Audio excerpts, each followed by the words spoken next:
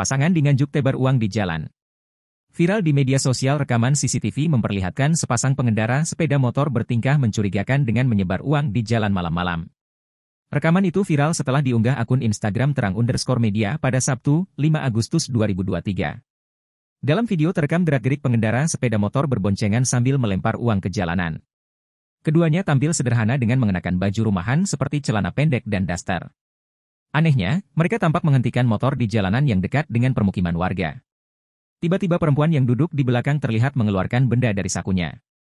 Rupanya benda tersebut adalah uang yang kemudian dilemparkan di sekitar jalanan. Sebelum menebarkan uang yang dibawa, keduanya sempat memperhatikan kiri dan kanan untuk mengecek kondisi. Dalam rekaman CCTV itu tampak peristiwa terjadi pada Jumat, 4 Agustus 2023, sekitar pukul 0.38 WIB atau tengah malam.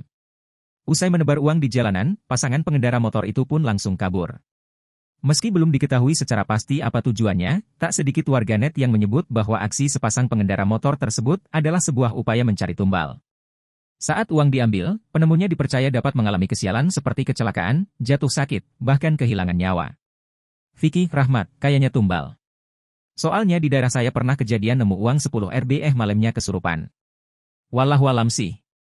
Nino Indonesia 91, nyari tumbal seketika sakit dan tetap hidup seperti biasa tapi sukmonya ke bawah. Timpal sejumlah warganet dalam kolom komentar unggahan tersebut.